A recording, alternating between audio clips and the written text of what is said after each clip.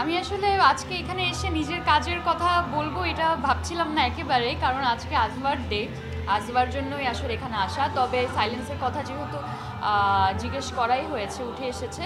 তো আমি বলব হ্যাঁ সাইলেন্স এটার পরিচালনা পরিচালক ছিলেন হচ্ছে বিকি জায়েদ ভাইয়া।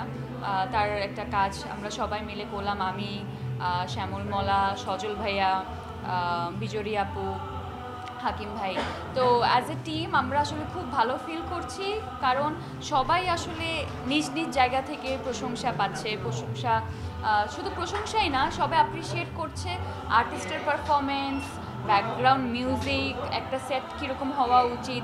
তো এই যে অনেক ধরনের আসলে জিনিসপত্র থাকে একটা কন্টেন্ট ভালো করার জন্য, প্রত্যেকটা অ্যাসপেক্ট নিয়েই আসলে আলোচনা হচ্ছে। তো এটা এটা খুবই ভালো লাগছে। এবং দর্শকের ফিডব্যাকটাও খুব ভালো। সবাই সিজন টু এর কথা বলছে। তো আমরা এ টিম আমরা আসলে খুবই খুবই হ্যাপি আর দর্শকের প্রতি কৃতজ্ঞ।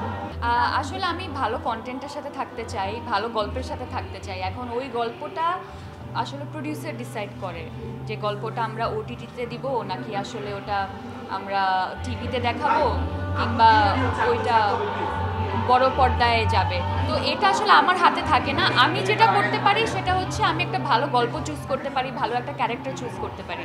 তো সেই জায়গা থেকে আমি ক্যারেক্টারের পিছনেই দৌড়াবো, ভালো স্ক্রিপ্টের পিছনেই দৌড়াবো।